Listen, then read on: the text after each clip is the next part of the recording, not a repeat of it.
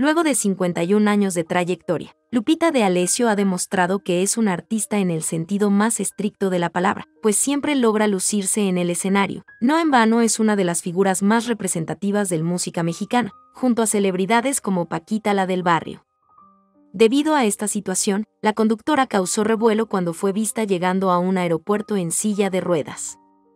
La segunda gran sorpresa que la ex suegra de Alessandra Rosaldo les dio a sus seguidores fue que no estaba sola, ya que una exalumna de la academia la acompañaba.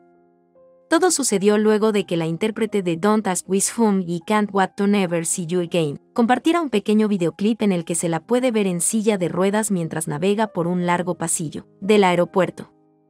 Se distribuyó, aunque en ningún momento mencionó dónde se encontraba, es fácil saber que se encuentra en Estados Unidos ya que actualmente se encuentra de gira por ese país.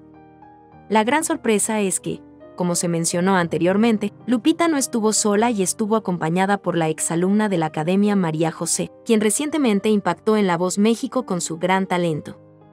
De hecho, fue la intérprete de Preferiría ser tu amante, quien instó a la madre de Ernesto de Alesio. Según explicó la amiga de Paquita, la del barrio, tuvieron que conseguir una silla de ruedas para trasladar a la famosa por el aeropuerto. Ella toma mi silla de ruedas porque no había manera, es una amante, dijo Lupita.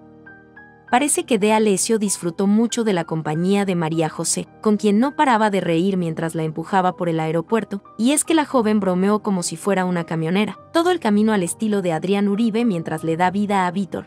Tómalo, tómalo, ponlo en la línea e incluso aseguró que peleará con la aerolínea para hacerle un mejor trato a Lupita, aunque al final se quedó todo con una hilarante anécdota que compartió con los miles de fans de la cantante. Para nosotros es muy importante tu opinión, coméntanos, ¿qué opinas de Lupita de Alessio? Déjanos tus comentarios.